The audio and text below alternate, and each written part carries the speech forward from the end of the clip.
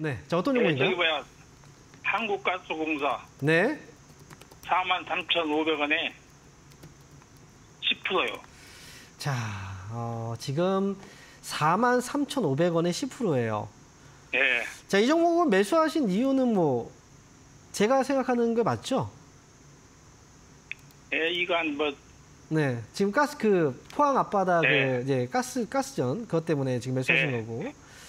네. 아, 근데 솔직히 말씀드리면 저는 이게 언제까지 이 흐름이 좀 지속이 될까 약간 좀 의문이 들긴 해요. 왜냐면 이번에 네. 보시면 지난 고점이 여기서 나왔죠? 그죠? 그리고 최근에 나온 고점이 여기서 나왔습니다. 그죠? 그리고 다시 네. 밀린 거거든요. 어, 네. 만약에 반등이 나, 요번에 반등이 나올 때 지난번에 5만 5천 원 이 위쪽까지 올라가지 못한다면 이건 빠지는 흐름이에요. 예. 어, 그러면 지금 아- 앞에서도 보면 이때 올라갈 때 거래를 보세요. 이렇게 거래가 들어왔죠. 근데 지금 네. 보면 이때 올라갈 때 거래가 어때요? 별로 없죠.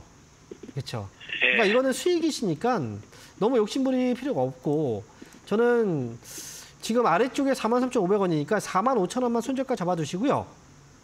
음, 이거 45,000원 깨지면 어쨌든 수익에서 수익인 거잖아요. 그 가격도. 그러니까 위쪽으로는 4만 어, 4만 9,000원 정도 까지만 네. 일단 지켜보고 빠져나오는 게 좋을 것 같습니다.